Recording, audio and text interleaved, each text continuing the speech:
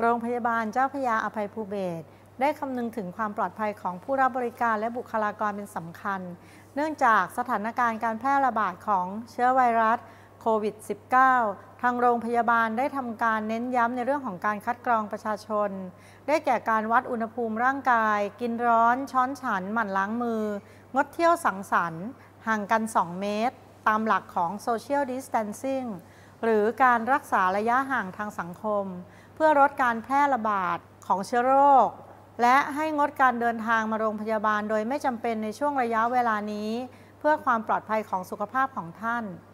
รวมถึงการงดการให้บริการในส่วนที่ต้องใกล้ชิด สัมผัสกับผู้ป่วย ที่ได้รับบริการเป็นพิเศษ เช่น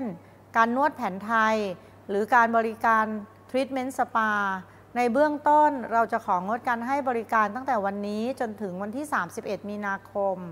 ในเรื่องของการลดความแออัดของผู้ป่วยในโรงพยาบาล เราจะจัดบริการการจัดส่งยาทางไปรษณีย์ให้สำหรับผู้ป่วยที่ต้องได้รับยาอย่างต่อเนื่อง เพื่อไม่ให้ขาดยา นอกจากการเข้มงวดในเรื่องของความปลอดภัยแล้ว เนื่องจากเราเป็นโรงพยาบาลที่มีความเชี่ยวชาญ และพัฒนางานด้านสมุนไพรมาอย่างยาวนาน จึงได้ใช้องค์ความรู้ด้านสมุนไพรมาประยุกต์ ร่วมกับสถานการณ์ปัจจุบัน โดยเราตั้งใจเป็นโมเดลนำร่องส่งเสริมการใช้พืชผัก สมุนไพรใกล้ตัว เช่น มะขามป้อม ขิง ขมิ้นชัน เพื่อสร้างภูมิคุ้มกันให้กับบุคลากร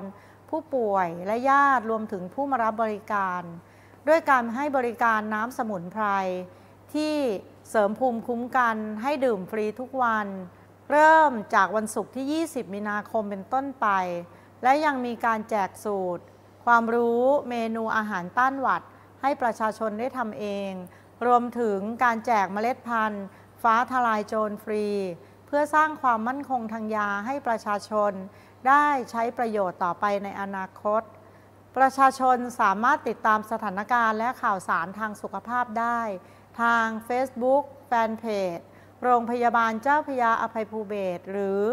Facebook สมุนไพรอภัยภูเบศค่ะ